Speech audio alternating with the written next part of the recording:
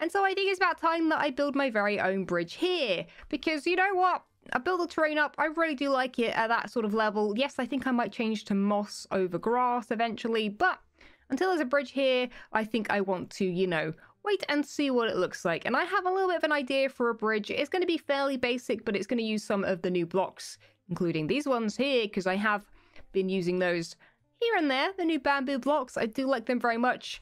And so I think it's about time that I sort of AFK. The farm is running down there, as you can hear. But also do some building myself. And so with my brand new shulker boxes, which are very much on brand, I think I think it's time to maybe get building. But also gathering a few more of these first, because I think there's definitely things that I'm kind of low on. But just before I could get that started, Pearl actually came over and I finally chose a spot for the mailbox. So we got to chatting about that. Well, don't you look mighty dapper sitting there in your seat on the balcony with your top hat? lawn! Okay, goodbye then. Bye. No, no, you're not getting rid of that easy.